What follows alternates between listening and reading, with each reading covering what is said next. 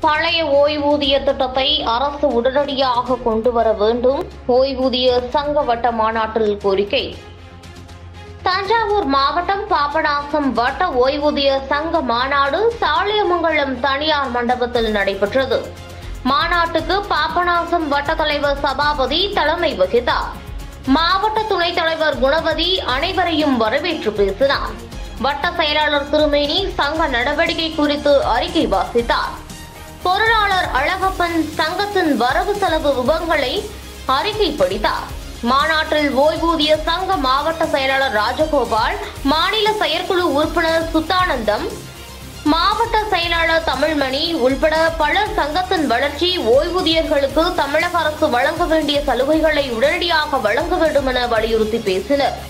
மாவட்ட துணைத் தலைவர் அன்புமணி உள்பட பலர் கலந்து கொண்டனர். அங்கன்வாடி பணியாளர்களுக்கு குறைந்தபட்ச பென்ஷன் ஏழாயிரத்தி ஐநூறு வழங்க வேண்டும். போக்குவரத்து தொழிலாளர்களுக்கு அரசு வழங்க வேண்டிய நிலுவையில் உள்ள பணப்பலன்களை ஓய்வூதிய பலன்களையும் அரசு வழங்க வேண்டுவது உள்பட பல்வேறு தீர்மானங்கள் நிறைவேற்றப்பட்டது. சத்துணவு ஓய்வூதிய சங்க மாவட்ட தலைவர் முருகையன் உள்பட பலர் வாழ்த்துறை வழங்கி பேசினர். இறுதியில் வட்ட செயற்குழு உறுப்பினர் சண்முகம் நன்றி தெரிவித்தார். நியூஸ் கியூ செய்திகளுக்காக தஞ்சையிலிருந்து செய்தியாளர் எஸ் மனோகரன்